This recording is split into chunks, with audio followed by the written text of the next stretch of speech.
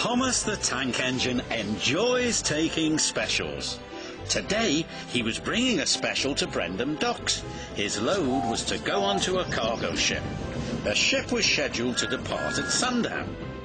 Thomas had to get to the docks before then. But the load was very heavy. So Thomas puffed as hard as he could. He pulled so hard, he broke his coupling rods.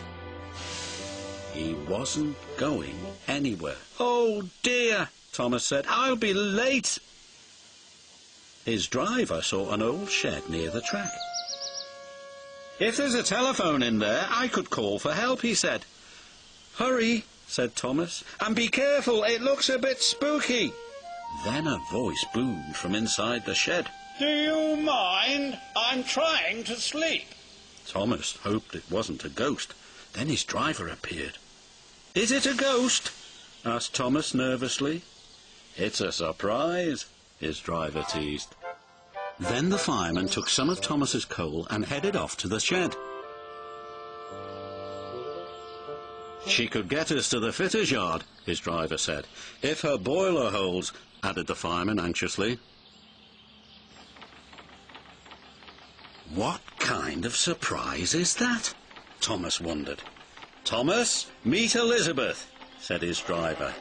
At last the doors opened and out chuffed a dirty, grimy steam lorry. So, you're the little puffer that's broken down, she sniffed. Thomas was cross. And you're just an old Sentinel lorry, he retorted. That would be vintage Sentinel lorry, snapped Elizabeth. And I haven't much time to get your coupling rods.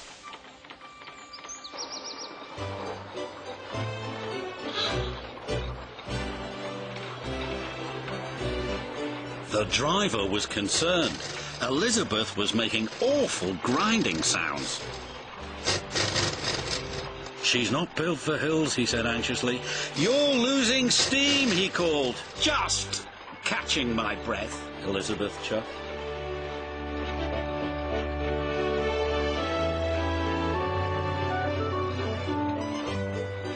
And finally she made it.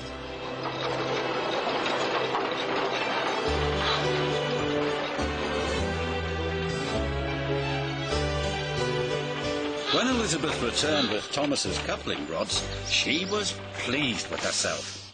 And next time, don't be so careless, she scolded. Thomas thought Elizabeth was the rudest lorry he had ever met, but he was very happy to get his new coupling rods.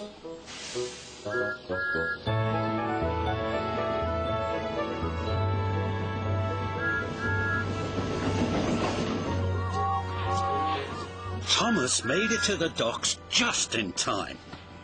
What took you so long? said the Fat Controller. Thomas told him about his broken coupling rods. He wanted to tell him how rude Elizabeth had been when she rolled up. Oh, it's you, said Elizabeth, looking down at the Fat Controller. Have you learned to drive properly yet? She's for it now, said Thomas to his driver. Elizabeth, said the Fat Controller fondly. My first lorry. I thought you had been lost. They were old friends. It was too much for Thomas. Then Elizabeth told the Fat Controller how she'd been left in the shed for years. The Fat Controller was so pleased Elizabeth had been found, he asked Jem Cole to restore her to her original beauty. And soon Elizabeth had a rich dark colour and gleaming coachworks. You're the grandest lorry in the whole railroad, the Fat Controller said proudly. I know, said Elizabeth even more proudly. And Thomas had to agree. She did look grand.